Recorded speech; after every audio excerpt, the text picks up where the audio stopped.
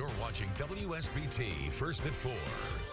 It's Thursday, and so it's time for the Market Basket Minute right now. South Bend Tribune columnist Lincoln Wright is back with some South Side, South Bend updates for us. Lincoln, let's get this out of the way. Start with the bad news first. Hi, Jennifer. So the Family Christian Bookstore at Erskine Village on Ireland Road closed last week.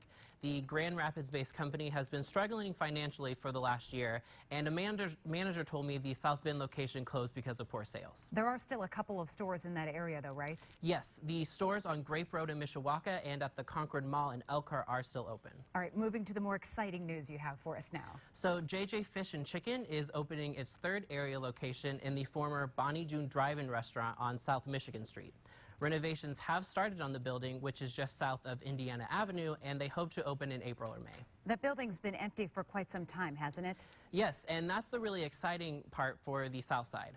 Although Bonnie Doon, the company shut down just about three years ago, in 1995, this restaurant never reopened after the winter. So for about 22 years, this building has sat vacant.